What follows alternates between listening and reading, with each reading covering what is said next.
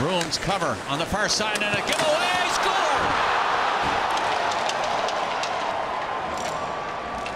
A giveaway to Mitchell, and he was hurt when he backhanded the puck in the goal and slow to go off. He got it right in the nose with a stick afterwards, and he goes right off. You can see he's cut on the nose, but here's the play. Puck shot in. Khudobin throws it around the boards, then Boston comes back against the flow. And a horrible giveaway on the play. And the end result, Mitchell just checks, tucks it up over top to Khudobin. Great play by Mitchell.